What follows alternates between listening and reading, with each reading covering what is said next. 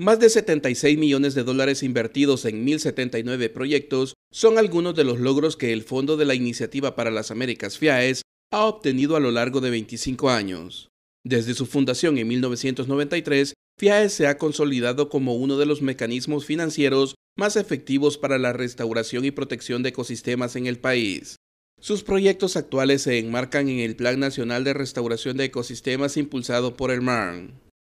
se ha orientado fundamentalmente a trabajar en ocho áreas prioritarias, muchas de ellas en peligro, en peligro de la sostenibilidad de los procesos eh, económicos y sociales de la zona.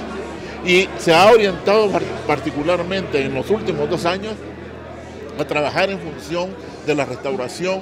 y reforestación de ecosistemas y paisajes. Los proyectos han sido implementados por 314 entidades, entre las cuales están asociaciones de municipios, asociaciones de productores agropecuarios, entidades no gubernamentales, ambientales y universidades. Durante estos 25 años hemos sido un brazo técnico y financiero de la política nacional de medio ambiente que se ha querido impulsar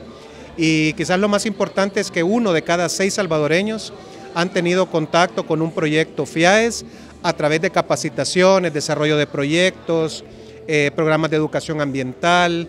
Al acto de presentación de logros asistió el presidente de la República, Salvador Sánchez Serén, quien reconoció el modelo de trabajo impulsado por FIAES en pro del medio ambiente y el bienestar de las familias. El FIAES se ha convertido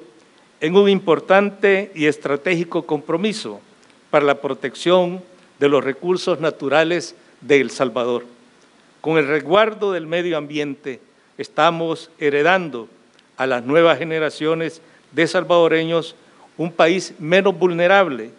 y mejor preparado ante los advenimientos de la naturaleza. Además, FIAES otorgó reconocimientos al gobierno de El Salvador, gobierno de los Estados Unidos, Ministerio de Medio Ambiente y Recursos Naturales, Agencia de los Estados Unidos para el Desarrollo Internacional USAID, Agencia Alemana de Cooperación Internacional GIZ y el Banco de Desarrollo de El Salvador Bandesal por su apoyo a la restauración ambiental del país.